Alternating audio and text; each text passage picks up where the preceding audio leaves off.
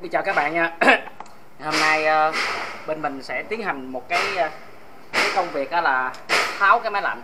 Thì cái quá trình tháo nó như thế nào thì thôi xin mời các bạn cùng với mình uh, thực hiện cái công đoạn tháo máy lạnh như thế này. Thì trước tiên chúng ta sẽ tiến hành nhốt cái ga lại. Tại cái máy này có dấu hiệu nó bị hư lóc rồi. Hôm qua mình có thay cái ca K3 trên này để cho nó chạy nhưng mà cái lóc nó kẹt cốt. Thì điều đầu tiên bây giờ chúng ta sẽ nhốt ga sống ha nhốt lại giữ trên đây cái ba nó lại bắt đầu chúng ta sẽ tháo từng con tán ra và bốn con ốc này sẽ tháo dời hết tất cả cái để mà thay cái máy khác. Bây giờ chúng ta sẽ cùng nhau làm như quý vị. Điều đầu tiên mình mở cái này ra. Nha, mở cái này ra nè. Nó hơi ồn á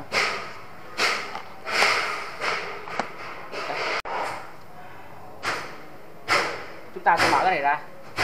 Ở bên đây họ đang ờ, chuẩn bị xây nhà cho nên nó hơi ồn quý vị mở ra hết, bắt đầu mình tháo ờ, ấy rồi chút xíu mình sẽ nhốt ga ga sống bởi vì cái này đã hư lóc rồi. Nha.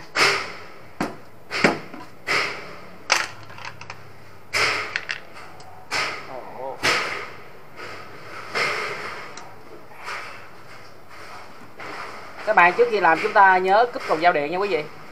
Cúp cầu giao điện á, tại vì hồi nãy mình có cúp ở dưới rồi. Thì ờ, chúng ta làm cho nó cẩn thận lại vẫn hơn ha mình tháo ra nè ha. Rồi. Rồi, tháo cả cọng dây te ra hết luôn tất cả. Đây, tháo này ra luôn. Rồi, bắt đầu mình sẽ tháo cái phần ở dưới đây. Cái cái cái chậu dưới này nè. Mình sẽ tháo cái phần dưới này ra. Có con ốc ở đây.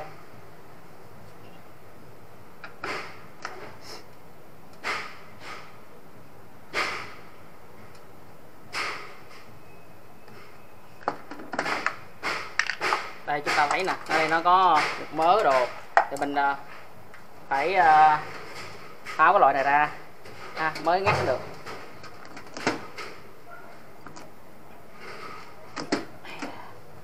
Đúng ra phải có một cái cây keo à, cây dao dọc giấy. Nhưng mà cái này ở đây à, cái dao giấy bữa nay nó mất tiêu rồi. Thì mình dùng cái cách này luôn. Bây giờ chúng ta tháo chịu khó tháo cái này tất cả là ra hết nè ha. Đó. Thì mình tháo nó ra. Rồi.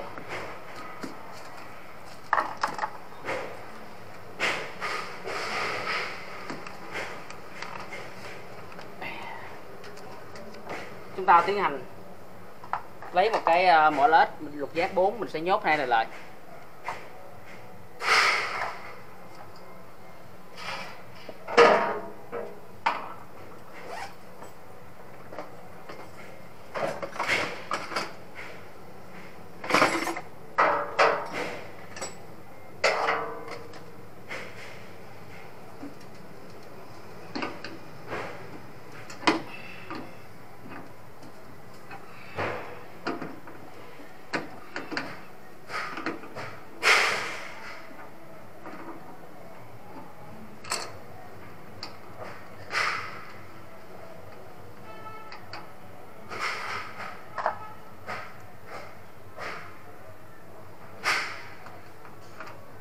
Rồi chúng ta sẽ lấy lục giác 4 mình nhốt hai cái này lại cho quý vị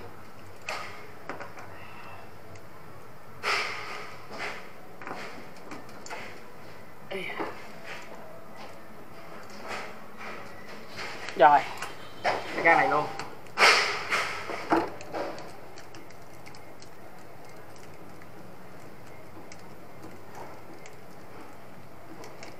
Sau đó chút xíu chúng ta sẽ ờ, cắt một đoạn ống đồng nhỏ để cho nó xả ra ra hết. Rồi chúng ta phải tháo xuống, tại vì như vậy mình mình đang tiến hành theo kiểu mình nhốt ra sống.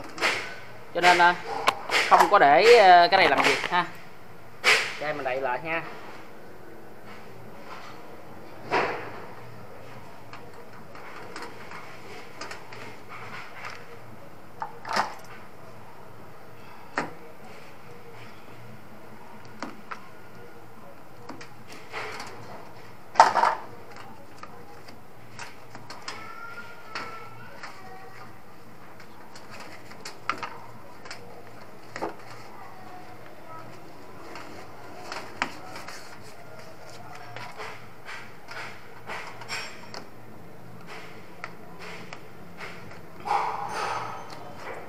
rồi. Mình sẽ mình sẽ lấy một cái uh, uh, cắt một cái đoạn uh, ống ở chỗ này ống đầu đẩy chỗ này để cho nó xì ra. Nó sẽ xì ra hết bắt đầu chúng ta sẽ nó sẽ xì một đoạn ra nha quý vị. Bởi vì uh, mình nhốt ra sống mà. Ăn cái chỗ này cắt một đoạn nhỏ chỗ này đi ha.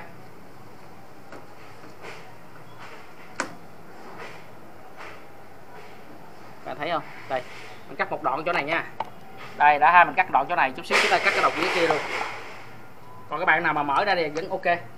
Mình sẽ mở bằng cách này cho quý vị cho cho nó dễ. Đó nó sẽ xì ra.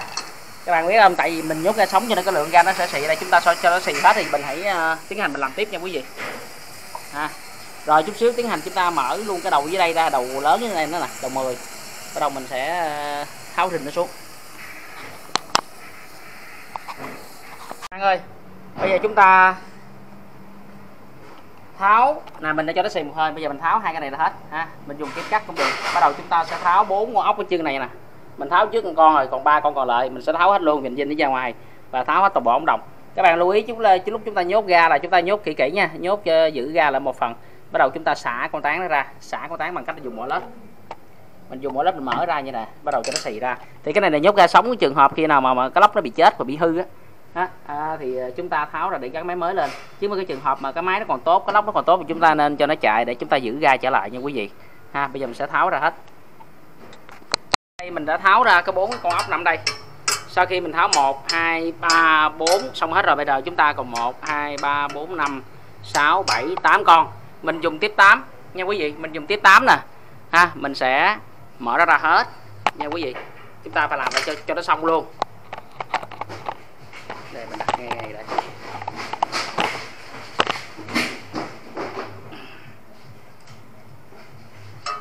đây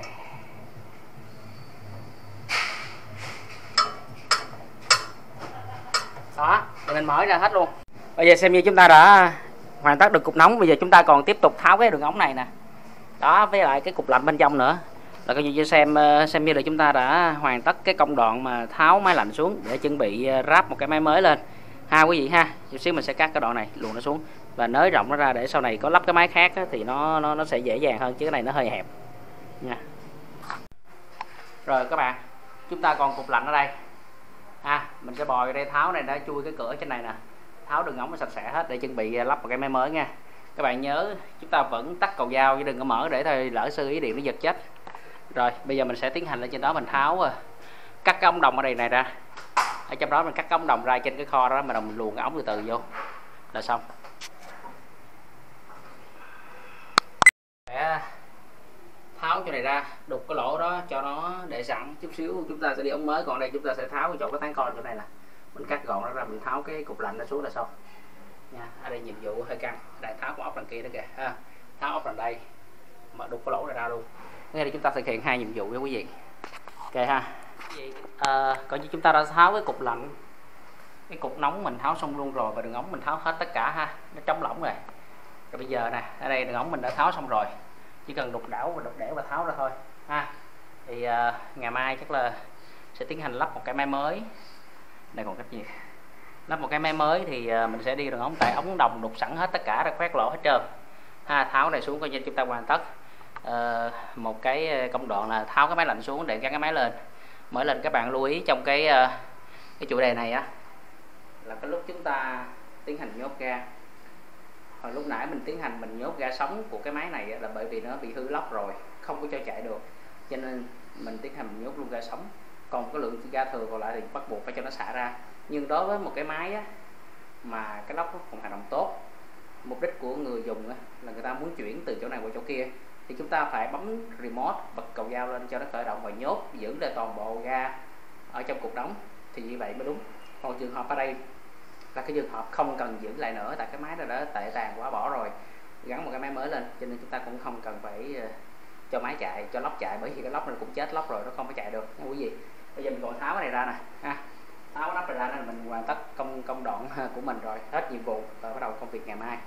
Rồi, các bạn xem nha.